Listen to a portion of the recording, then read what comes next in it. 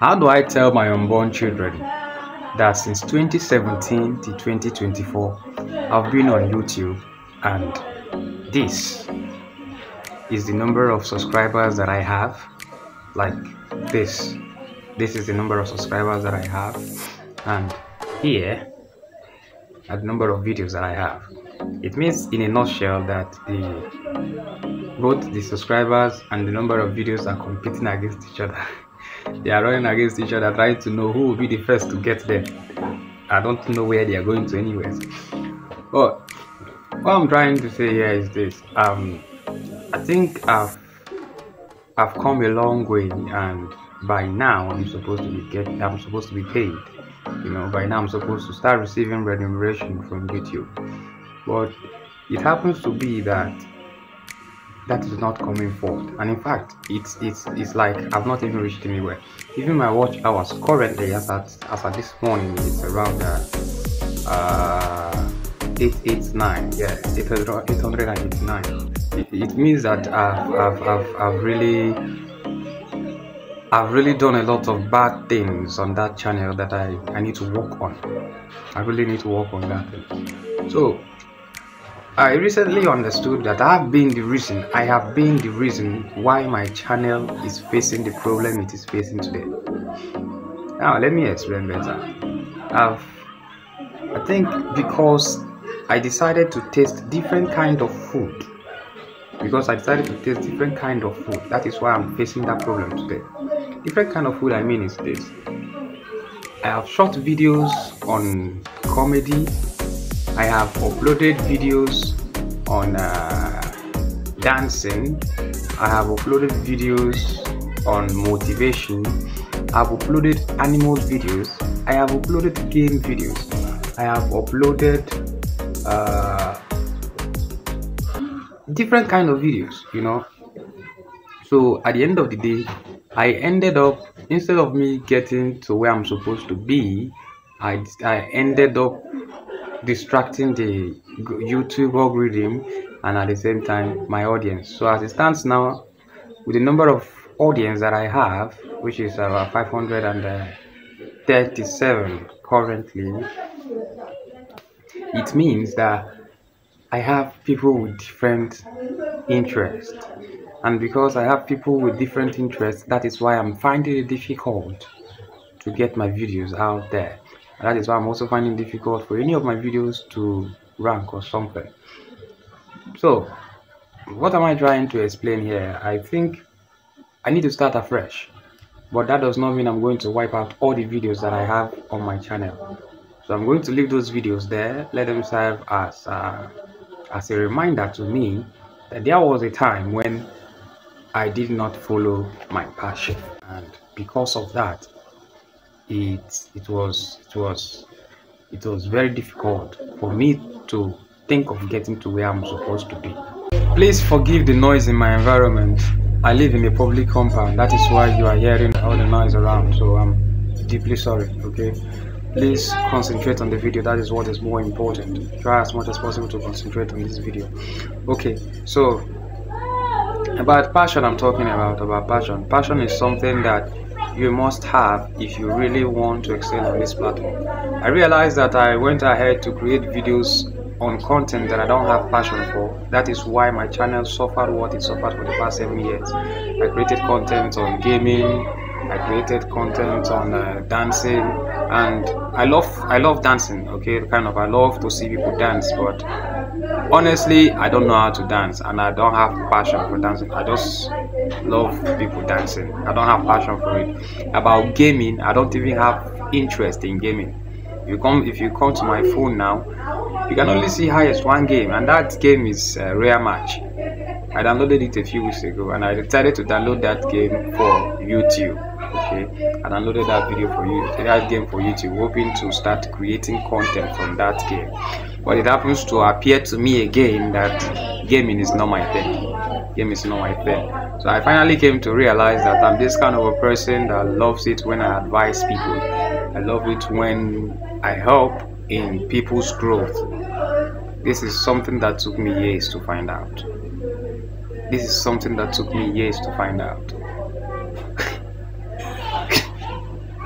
Just be creating content that I don't even have passion for. And of course, I'm sure that is one of the things that made my my channel to become a, a channel that even myself I'm not happy. I'm not happy with it. I'm not happy with it. So you, on the other hand, should try as much as possible to learn uh, how to create content around your passion. Avoid jumping from one trend to the other. Avoid jumping from one trend to the other. Because the moment you jump from one trend to the other, that time you begin to have problem with your channel. That is the problem I faced. That is the problem I faced, and I'm trying to inform you about it so that you will pull yourself away from it. If you are a new person in the content creating uh, world or maybe the YouTube world, try as much as possible to avoid jumping from one trend to the other. You don't see, like myself, I did it. I was like, oh, people are watching dancing very well. Okay, let me go and dance. I started dancing. My channel was there. I saw videos on game and I was like, wow, people are watching gamers play. Wow, wow, wow, wow. What are they even doing just to play game? I went and downloaded games, started playing games, and of course, my channel was there then I went through again. I saw that people started watching. People love content that relates to sex and what have you, even though they don't completely show it to avoid YouTube uh, YouTube problems. I started creating content that are sexually related, and my channel is still there. So imagine jumping from one trend to the other simply because it had uh, views. So at the end of the day, I still came back to square one came back to square one because all these things are not things that I have passion for. I don't have passion for that. I have passion for advising people, giving people advice.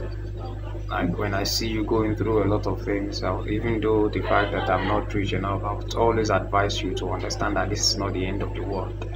Okay, that this is not the end of the world, so you need to push through, you need to push for that it's finally I finally I came to realize that and I of course I, I know now that I'm not supposed to be jumping from these places like a bird jumping from one tree to the other or like a monkey jumping from one tree to the other. I need to come back to my senses and realize that these places are not for me. I need to come back here. So you have to create content on something you have passion for. If you are if you are interested or if you have passion for comedy and you know you can create comic content for a long period of time then you go for it. You start creating content around that. If you are a good dancer you're good in dancing you can start creating content on dancing but always avoid copyright music. To avoid pro having problem with youtube. If you are good with gaming you think gaming is your kind of thing you go for gaming you play your games and so on. And if you also think that teaching people a lot of things on how to drive how to do a lot of things yeah you are welcome you are more than you're 100 percent welcome to do that okay? Just make sure that whatever be the thing you are doing here on youtube is something you have passion for it's something you have passion for. Else if you if if you start creating content that are off youtube trust me you definitely you definitely be on the same pace where i am today. You might end up having the 1000 subscribers but what happens if you have all these subscribers and each time you upload a video nobody is interested in seeing your video? What is the need for that you uploaded a video and nobody is interested in the video it's because you created content around people that are not for people that are not interested in it. And you on the other hand is not interested in the content you created. And people subscribe to you for a particular purpose. If that purpose why they subscribe is no longer there then you have a problem. You have a very big problem. So in conclusion you should learn how to create videos based on your passion. If you should be passionate about something and that thing you have passion for should be something you should have you should know how to create you should be creating videos for rather. I will see us in our next videos. Like i said i have dropped everything that has to do with creating content around uh, comedy, creating content around uh, games, creating content around dancing. I'm now focused on helping others grow. It's from my previous experiences now. I can easily tell somebody this is not the right path to take. Try and do it this way. So, whether the YouTube algorithm start noticing my videos from now or anytime, no problems.